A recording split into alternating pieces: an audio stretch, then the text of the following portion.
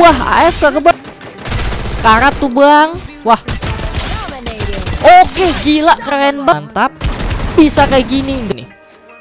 Tuh, kayak gitu. Beda. Perlu kita kill. Waduh, kena.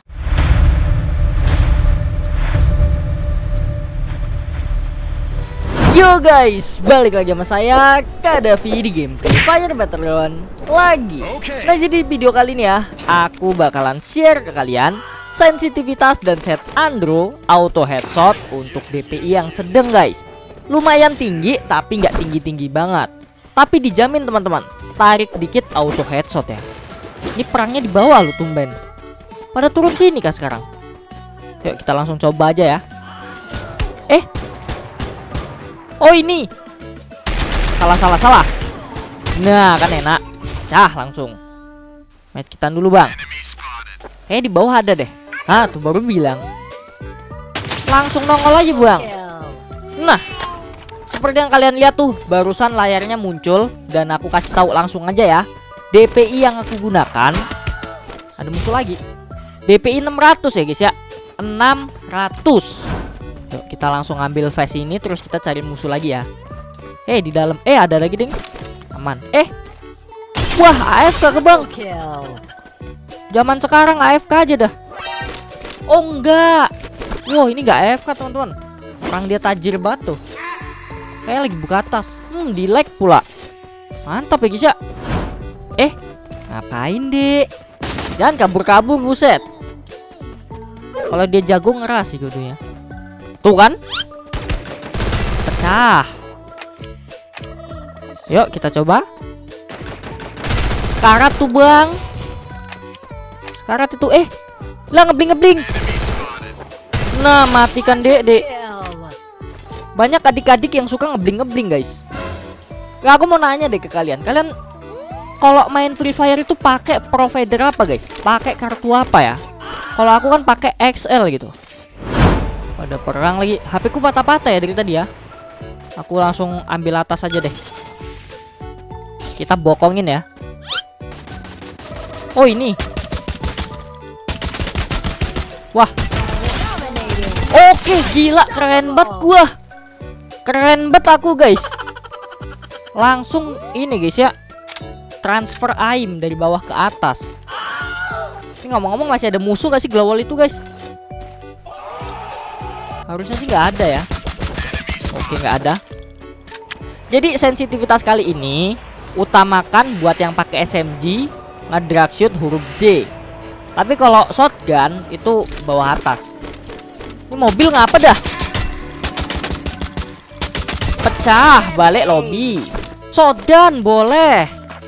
Bisa nih pepeng shoot. Terobos aja lah. Jadi ini all roll guys ya. Buat support, buat racer, buat all weapon semua senjata auto headshot teman-teman Syaratnya apa? Drag shoot Aku selalu ngingetin ke kalian ya Yang paling penting itu adalah Sensitivitas DPI Dan juga cara ngedrag shoot. Walah patah-patah lagi dong. Jadi yang bikin headshot Kuncinya tiga itu teman-teman Wih ada musuh lagi loh. Apa dia? Dia ngambil airdrop gak punya dosa guys. Astagfirullahaladzim patah-patah cu. Patah-patah HP ku. Ingat ya? Jadi set Android itu cuman biar HP kalian tuh makin gampang Buat mainnya. Makin licin Makin frame per secondnya makin mantap. Bisa kayak gini nggak mati dong. Nggak mati cu Aduh. Ngapa kau dek? Dek buset. Balik lobby kan? Itu dia guys. Fungsinya set Andro sekali lagi. Itu buat mempermudah gameplay kalian Kayak Laju penyegaran Itu biarin HP kalian semakin smooth Terus kayak Skala animasi, skala jendela Itu biarin kalau kalian lagi ada depan sama musuh Yang musuhnya device-nya lebih bagus dari kalian Kalian bisa menyaingi gitu Nah kita coba majuin lagi ya Nah kalau ukuran tombol tembak ngaruh nggak bang? Kalau menurut aku sih ngaruh guys ya. Ini musuhnya di mana sih? Oh di kiri. Oh dia di kiri guys. Stepnya kedengeran. Ngaruhnya tuh gini nih. kalau mau ngedrag shoot bawah atas gini nih. Tuh kayak gitu. Bedeh langsung merah semua cuk. Itu bakalan ngaruh posisinya. Aku bikin agak ke bawah biar ngedrag shootnya lebih gampang dan ancang-ancangnya lebih panjang. Ukuran ngaruh gak bang? Ngaruh lah. Kalau kekecilan susah mencetnya. Kalau kegedean kepencet-pencet. Ngaruh. Ngaruh nggak bang buat headshot? Kalau katanya Kels Gaming perlu kita kill waduh kena dia. Kalau kata Kels Gaming dulu aku nanya guys ya. Kata pro player pepeng shoot zaman dahulu. Kalau tombol tembaknya kegedean itu aimnya goyang. Ini hidup lagi cuk. Ya aku sambil jelasin ya kita main jarak aja deh. Terobos aja lah anjing nah kalau kalian buat pepeng shoot itu lebih optimal tombol tembak tuh jangan gede-gede. 40 sampai 55 lah belum bisa kayak gini nih. Dor. Nah. Nongol dikit langsung hilang loh. Eh ngomong-ngomong sakit zonanya guys. Aku terlalu banyak ngejelasin ya. Mungkin aku bikin tutorial aja nanti. Kenapa aku bahas ini? Karena di TikTok itu banyak yang ribut ya. Banyak drama. Tapi jujur aja seru guys lihat drama TikTok ya. Ini ngomong-ngomong sakit zonanya guys. Aku main kitan dulu deh. Sakit cok. Lama-lama cok.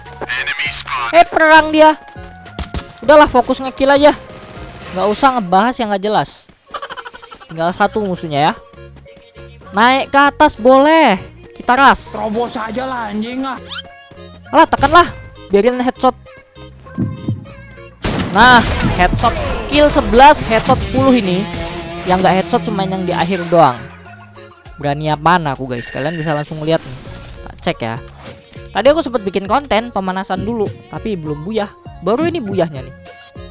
Coba lihat nih kayaknya kill 10 kill 11 headshot 10 nih. Tuh kan kill 11 headshotnya 10 ya. Damage-nya 3095 oke saya Kardef undur diri. See you next time and see you next video kan kan bye bye Nah, untuk set Android dan sensitivitasnya, kalian bisa langsung cobain nih. Set Android selengkapnya ada di deskripsi serta penjelasannya. Utamakan drag shootnya huruf J dan V. Bang, drag Noxa bisa nggak? Bisa, bawah atas, membentuk huruf N, bisa. Nah, untuk DPI-nya jangan diubah ya, 600 saja. Udah paling bagus. Ini buatan aku sendiri soalnya. Oke teman-teman, terima kasih sudah nonton. Oh iya, ukuran tombol tembak 44 bagus, 52 bagus, 58 bagus. Silahkan kalian pilih.